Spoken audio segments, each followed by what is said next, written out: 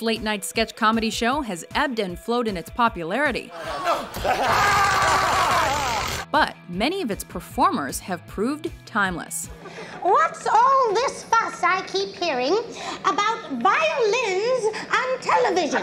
Welcome to WatchMojo.com, and today we're counting down our picks for the top 10 Saturday Night Live cast members. All right, now's the time in the show when I like to give Denise a call and hang up on her. For this list, we're looking at the best and most well rounded performers from the show's history and are ranking them solely on the work they did on the Studio 8H stage. Well, this is some weird, wild stuff. I did not know that. But what about these people? Number 10, John Belushi. Right now, this drunken Irish junkie who wants to kill me because of what I said about his mother being in terminal dreamland, you know? Belushi brought a raw energy to SNL that's hard to come by. He'd rather have more office space. He's probably never seen the Rockettes. He probably never saw Grimm's fairy tales or tried down that fountain. He's got. With every sketch he did, he was able to grab the audience's attention and make them laugh hysterically with his brazen, animated charm and often crude humor. Even though he was only on the show for a short time, Belushi produced many memorable characters and sketches, including the Olympia Cafe. Samurai Futaba,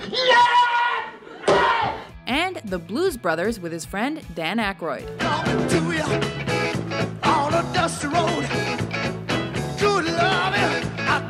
His charisma and brand of slapstick hasn't yet been recreated. Imagine grappling with a 400 pound wilderness heckler. Opening for Jerry Vale was never like this. Okay, Bear, you can sit down. We've all seen the coat before. Fine. Real good. Okay. Number 9, Gilda Radner. Hi, I'm Gilda Radner. And, uh, okay, now. Radner was the first performer cast as one of Lorne Michaels' inaugural group of not ready for primetime players. And it's easy to see why Michaels would want her. Bob, I know the facts of life. You know, I got an A in health. She was genuinely funny and brought her characters like Roseanne Roseannadanna to life. Dear Rosanna, Rosanna Dana, last Thursday I quit smoking. Now I'm depressed, I gained weight, my face broke out, I'm nauseous, I'm constipated, my feet swelled, my gums are bleeding, my sinuses are clogged, I got heartburn, I'm cranky, and I have gas. Winning an Emmy Award for her work on the show, Radner helped pioneer the celebrity impressions that have made SNL what it is today by lampooning legends like Patti Smith, Baby hair, eyes, so. Lucille Ball, Does that mean I'm fired? and Barbara Walters. Or should we say Baba Wawa? Good evening, and welcome to Not for Waities Only. I'm Barbara Wawa, and tonight we'll be talking to an actual living legend. Number 8, Dana Carvey. You people don't quit now, do you? Now, is this the way we're going to play the game here? Are you guys going to keep asking these asinine questions till you see some dirty pictures? Is that is that what you want? As a performer, Carvey could turn on the wow factor and was instrumental in renewing SNL status as must see TV. A man who, who has a friend is a rich man, and that's what Clarence said. And by golly, he was right. When the show was struggling, he was a breath of fresh air, with characters like Garth of Wayne's World fame, Who's James Bond gonna spy on? The Guatemalans? As if. Hans and Franz, I'm sure Arnold is not threatened. and the Church Lady. Could it be Satan? But Dana was not a one trick pony. He did spot on impressions of just about anyone, including both George Bush Sr. and Ross Perot, which resulted in an interesting three way debate with Phil Hartman as Clinton and the expansion of SNL's political satire. Let me just sum up. On track, stay the course, a thousand points of light. Stay the course. Number 7, Dan Aykroyd. Yes, our records were lost when the craft which brought us from France plunged into Lake Michigan. We crawled from the bottom of the lake and lived by night for years off our remaining protocaps. Aykroyd was a renaissance man on SNL's first four seasons. Uh, some of those moves you do, I wouldn't think the human body would be capable of moving like that. They were terrific, Mick, really. Intense, intelligent, and irreverent. He was the youngest cast member of his era, but also the most well rounded. He could write perfect characters and perform them flawlessly. in addition to inventing bizarre but hilarious standalone sketches. Yes, fish eaters, the days of troublesome scaling, cutting, and gutting are over. Because Super Bassomatic 76 is the tool that lets you use the whole bass with no fish waste without scaling, cutting, or gutting. Among his many contributions to the show were the Blues Brothers with his friend Belushi, the Coneheads. I am a driving instructor. Mm-hmm. And uh, where do you folks come from? France. And two wild and crazy guys. We are two wild and crazy guys. As well as his time behind the weekend update desk. Jane, you ignorant slut. But who can forget his Julia Child? I've cut the dickens out of my finger. Well, I'm glad in a way this happened. You know, accidents do occur from time to time in the kitchen. Number six, Phil Hartman. You don't know what sense it is, Junior. Sense is getting dropped by Columbia because Mitch Miller doesn't like the way your career is going. It's having million dollar pipes and nowhere to play them. Am I right, Stephen Eady? Known as the glue, Hartman was the kind of performer that always did more than was expected of him.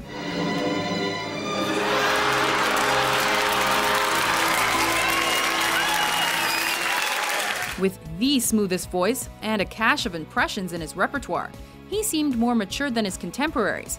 However, he was often undervalued for his contributions. Tonight I'm gonna let myself shine through. Yes, they're gonna see the real Phil Hartman tonight. I wouldn't do that, Phil. Okay. Even so, it's easy to see that his support often saved a sketch. In addition to excelling in his own skits and portraying more than 70 characters over eight seasons, he always helped his fellow castmates. Bachelorette number one, what is your idea of the perfect date? First of all, I would push you to the ground. Pee on you, chanting, House on fire, house on fire, put it out, put it out. And his Bill Clinton was spot on. All right, boys. Let's stop in here for a second. I'm a little parched from the jog. Uh, sir, we've only been jogging for three blocks. Judy, I'm going to go out on a limb here and say maybe you're still a little too nervous. Mm-mm, just kidding. Number five, Kristen Wiig. Well, maybe, you know, you could come back another time. I'm fine. Besides, I can't come back another time because I'm too busy. Just kidding, I'm not busy. Busy, just kidding, I am. But I make time for you. Just kidding, I know how to make time. Just kidding, but I know how to make pies. Just kidding, I don't. Just kidding, I do. And I'll make one right now. Proving herself as one of the most vital female performers in the show's history, Wiig was a versatile, try anything once kind of gal. I better suck a little off the top. Oh, that's it.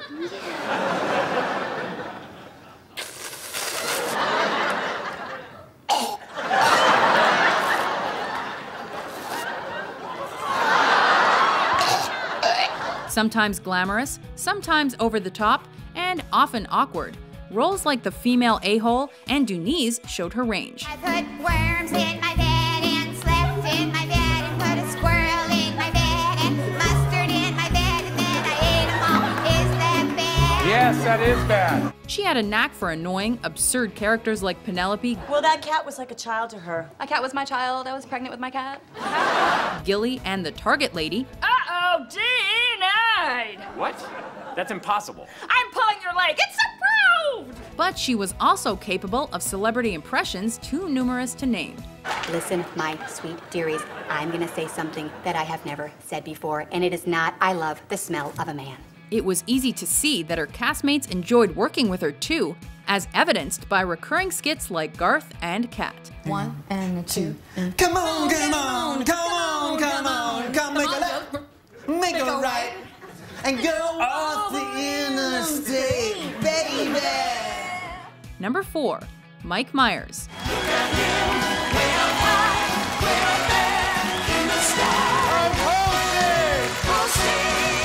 Was the kind of guy viewers just wanted to hang out with. I'm hypoglycemic and hyperactive.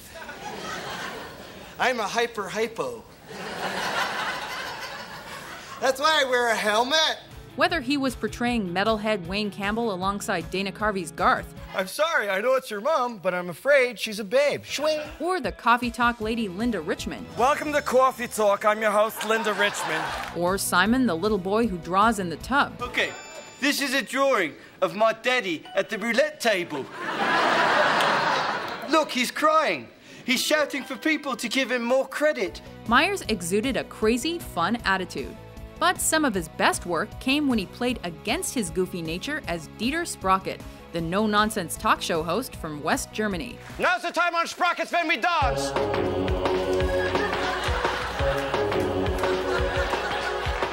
Creative, adaptable, and skilled at accents, Myers was a definite asset to the early 90s SNL cast. That was fascinating, but the rest of the story will have to wait because that's all the time we have!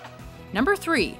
Eddie Murphy. It's one hell of a day in my neighborhood. A hell of a day for a neighbor. Would you be mine? Could you be mine? After joining the show once the original cast members moved on to greener pastures, Murphy had big shoes to fill. And he did it with a smile on his face, a spring in his step, and a load of impressions in his arsenal. Sometime I make me break out in a cold sweat. One, two, three, four. His antics brought viewers sketches like Gumby, Imagine him telling me where I can park and where I cannot park. I am Gumby, damn it! Mr. Robinson, Oh, look! An eviction notice! and Buckwheat, a character so popular Murphy requested he be killed so he could play other roles. Mr. Wheat! Yeah.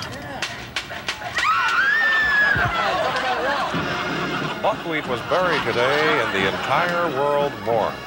The lone bright spot in the show's dark ages, Murphy reinvigorated SNL by cultivating his brand of wacky, high energy humor. Everybody, let's do it! Everybody, up there too, come on! Everyone stand up, come on! Stand up before I smack someone! Number 2. Chris Farley. Now, you kids are probably asking yourselves, hey, Matt, how can we get back on the right track? With Farley, viewers never knew what to expect. For the love of God, let the boy move in with you!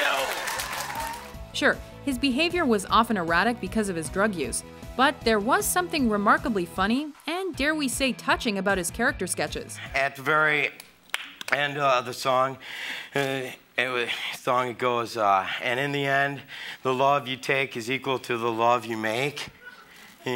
You, you remember that? Yes.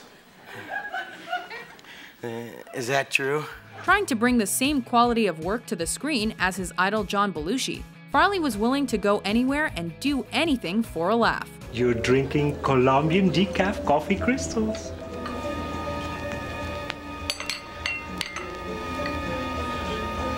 What? You son of a bitch! You no good damn bitch!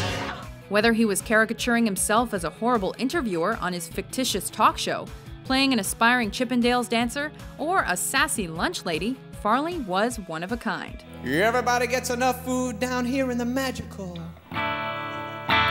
Lunch Lady Land. Before we unveil our number one pick, here are a few honorable mentions.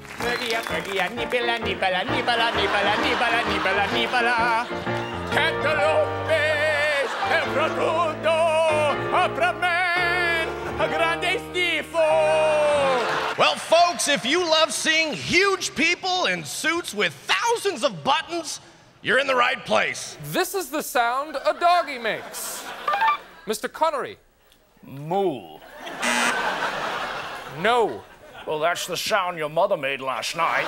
This is the word, it's the word that you heard. Chess has mood, chess has feeling. Anyway, the bouncer is a king size lesbian who looks like Phil Jackson. And the password is Scotty!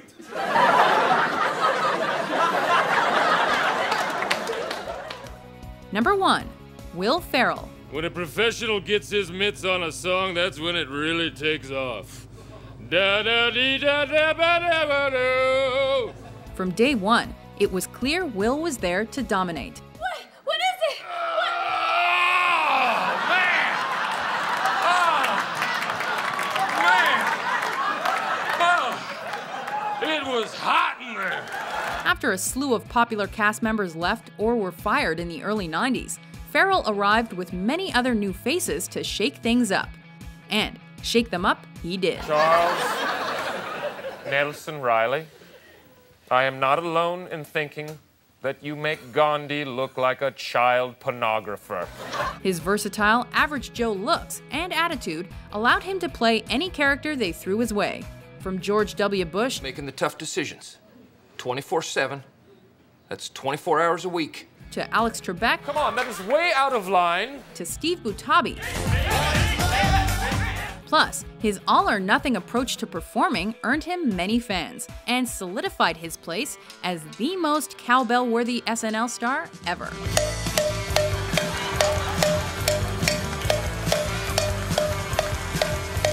Do you agree with our list?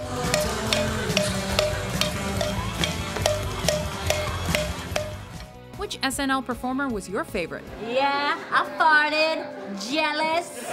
For more comedic top 10s published every day, be sure to subscribe to WatchMojo.com. There's a guy named Fred and he's got a pair of slacks. Ooh, Fred's got slacks.